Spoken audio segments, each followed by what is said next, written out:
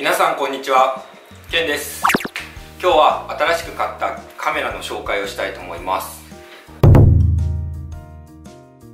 先日発表されたオズモアクションになります。で今はですねあの私たちこの、まあ、ライド系の動画というのはこの GoPro Hero 6今 GoPro Hero 7の1個前のモデルですね。こちら1台を使ってまあ私テストマウントであの動画を撮ってるんですけど、まあ、今これ1台だとその要はケンマミっていうコンビ YouTuber の場合だと撮影のために、まあ、次はじゃあマミにつけてとか次はケンにつけてっていう風に、えー、と結構ライドしに来てるはずなのにこういう風にカメラの受け渡しとかセッティングとかしてますと非常に時間のロスで、あのー、近々1台、まあ、YouTube 始めてもう今4ヶ月経つんですけど、まあ、4ヶ月経ちましたしチャンネル登録者数も1000人以上超えたっていうことでもっと、まあ、いい動画作らなあかんなっていう思いもあってアクションカムの導入を考えてたんですね。で、まあ、候補はやっぱ GoPro Hero 7 Black が候補で最近まで本当に GoPro Hero 8の販売発売発表を待たずして GoPro7 導入しようかなとは思ってたんですけどそんな中でこの結構私にとっては理想的なアクションカメラが発売されましてでこれなぜかこれを買ったかっていうとまずこちらなんですけどまあいろんな YouTuber さんが今レビュー上げてるのであの見てもらえばいいと思うんですけど、まあ、手ブレ補正がかなり強力になったと。いう点があの買いのポイントの1点。で2点目が自撮りに適している。例えば今こういうふうに画面普通はこういうふうに映るんですけどここをダブルタップするとこうです。こういうふうに自分をこうやって確認しながら撮影ができる。これってすごいメリットで、まあ、GoPro とかはこれは今6ですけど7も、あのー、画面がここの画面っていうのは自分が、まあ、どういう撮影してるか映るわけじゃなくてこういう風に撮れると、まあ、要はこれ自撮りができることがすごい魅力的に感じて、えー、購入しました。であとここのレンズのカバーも変えれまして、まあ、このレンズのカバーを変えることによってその何て言えばいいんですかねフィルターですから、まあ、明るい日に適したレンズカバーをつけたりとかそういうカスタムもできますよっていうので非常に魅力を今感じております。ただ手ブレ補正はあの YouTuber さんの動画見てかなりあのいい感じになってるんですけど画角ですねこの GoPro と比べての画角はかなり狭くなるらしいんですよ。なのであの景色とかは、まあ、ライドライドライドを撮る時の景色の幅はすごい狭くなると思います。なんで今後この2台でねとりあえずですね GoPro8 が出るまでは、えー、この6とオズモアクションを使って撮影していきたいと思います。でまあこの2個あることによって結構動画の可能性が広がりまして例えばですけど GoPro をまあ、こういうふうに、まあ、前の背景を撮るためにつける。でこっちを、まあ、自撮り用にこういうふうにつけると。2つの画面を表示させまあ要は YouTube 動画でアップするときに自分の自撮りの顔とプラス、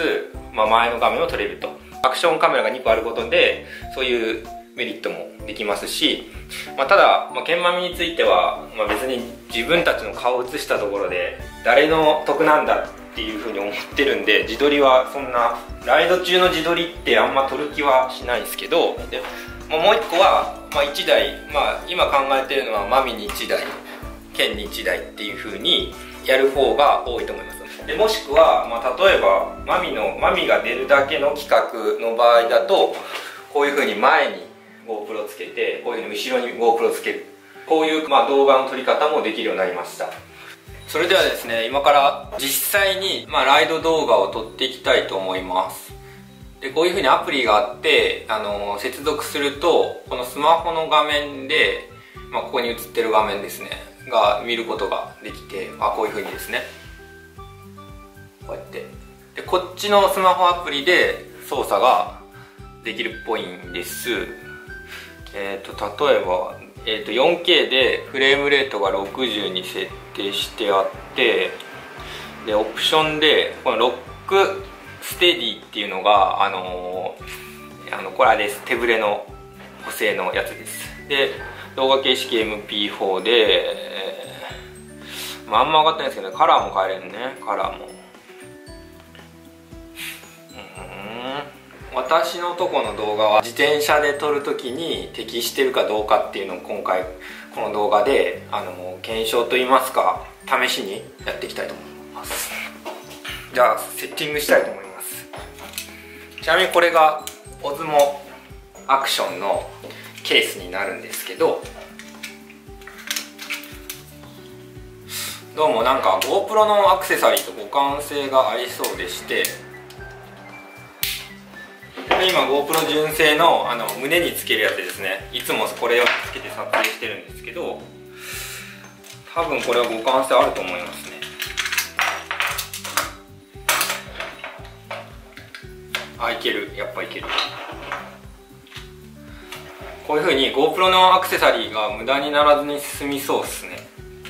あいけるいける。全然いける。だからオズもこの GoPro って書いてあるんですけど GoPro って書いてあるんだけどオズモアクションもつけれると。なるほどね。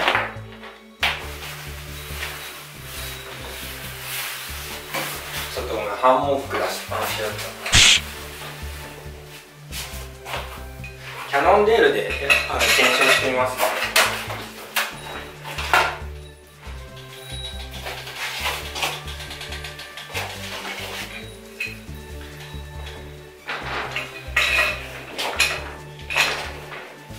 えっ、ー、とブレンダーステムにつけたいと思います。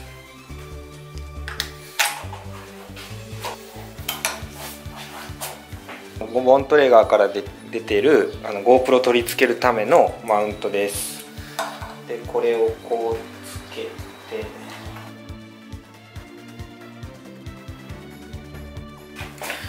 はい。オズモアクションのカバーをつけていきたいと思います。よい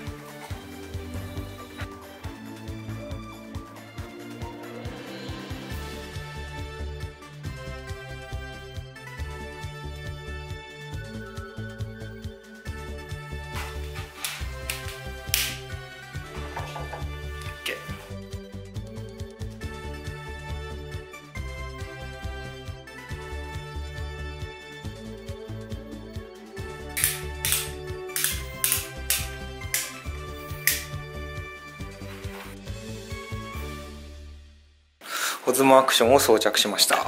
でコックピットはこんな感じでサイコンも見れるしここで今カメラのねカメラの画面もこれで見れると。こういうスタイルで私は撮影していこうかなと。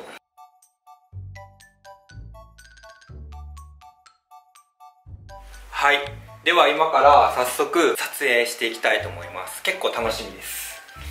で一応こうやって GoPro つけてコックピットの状況プラス、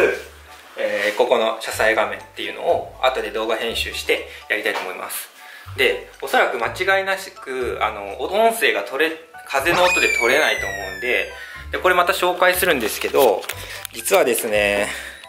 結構お金使ってまして、ピンマイクですね。ピンマイクを結構いいのを2つ買いまして、この前回の動画のタンデム自転車の時にこれを初めて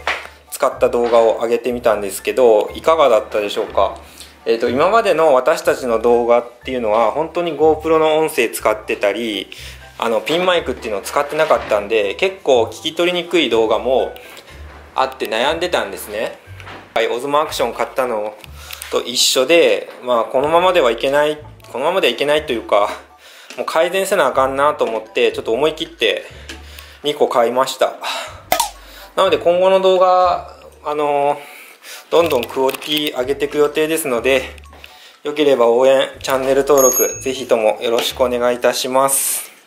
はいこちらはですねえっ、ー、と YouTuber の上原さんがですねあの動画で上げてたものになりますで、まあ、上原さんの動画っていうのは非常にまあ、自転車系 YouTuber の中でもその機材の紹介っていうのがすごい僕にとっては参考になってこのピンマイクのこととかも結構親切に、まあ、ダイレクトメッセージで教えてくださいまして本当にありがとうございます。